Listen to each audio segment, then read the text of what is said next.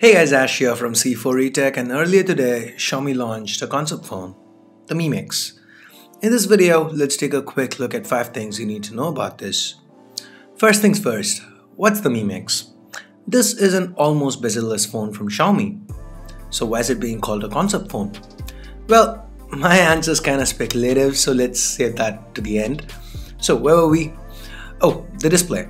The Mi Mix has a 6.4 inch edgeless display and has an amazing 91.3% screen to body ratio. To make this happen, Xiaomi's gone with a 5 megapixel camera to the bottom and this is a smaller camera of sorts. Interestingly, you can turn the phone around to shoot selfies if you find it awkward.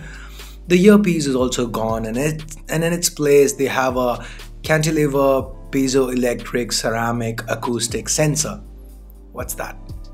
Well, it lets you listen without a earpiece but if it sounds convoluted, well, that's exactly how it sounds to me too. That's what Xiaomi said at the launch event, and I'm just repeating it here. I'd like to get my hands on the Mi Mix to figure out how it works, and when, if, and when I do, I'll have to more, I'll have more, more to say on it. Anyway, for now, the display is rounded at the edges and has a native resolution of 2040 by 1080 uh, pixels, so it's kind of a 1080p display, but with a 17 9 aspect ratio. The reason for this for the first time, Xiaomi has gone with on-screen keys here. So again, to maintain that 91.3% screen to body ratio. So since the on-screen keys are taking up some space on the display, they've gone with 17 to 9. Anyway, this phone weighs in at 209 grams and is 7.9 millimeters thick, but the high screen to body ratio means the overall footprint is comparable to that of an iPhone 7 Plus. Xiaomi has gone with ceramic here for the build. The back, the frame, and even the buttons and it looks interesting to say the least. They also mentioned that the ceramic used falls at 8 on the Mohs scale and should be very resistant to scratches. If that doesn't put your mind at ease, Xiaomi is also providing a leather case included in the box. So for the proximity sensor, which has again been removed here, you know the one that turns the display off when you put it to your ear, for that Xiaomi is going with ultrasonic tech here.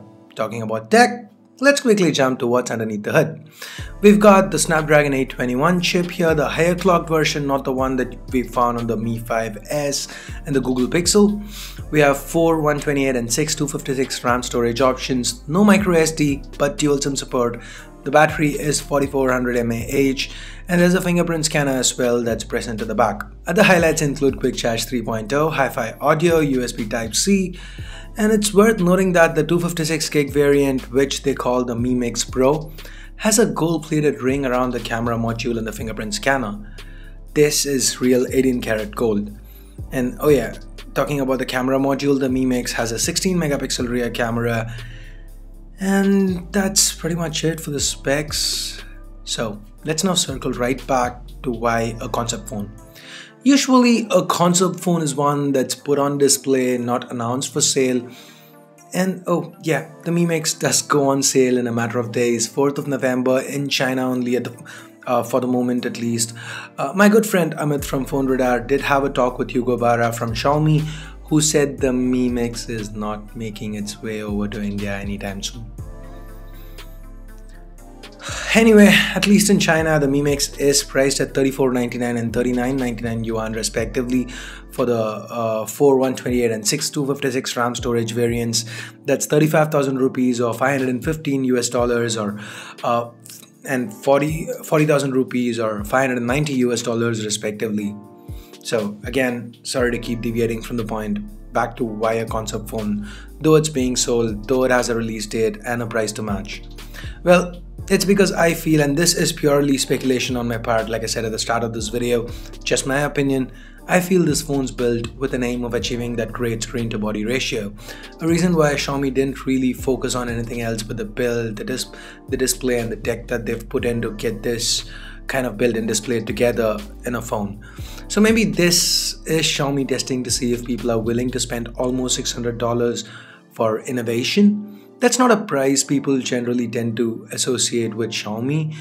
And if people actually end up being interested in it, if I'm right, I hope uh, Xiaomi does sell well because uh, that would mean they'd go ahead and do come up with more uh, concepts like this, more new products. Because I'm I'd really like to see something new from some manufacturer. So anyway guys, that's it for this quick video on 5 things you need to know about the Xiaomi Mi Mix. A big thank you to Amit from Phone Radar for providing me with images and video clips uh, for use in this video. I'll leave a link to Phone Radar in the description, the article and the video and his video on the same. Do check them out and before you do check, go ahead click any links Give this video a thumbs up if you liked it, vote it down if you didn't, and for more coverage on the Mi Mix as and when I can get my hands on one, hit that subscribe button down below if you haven't already.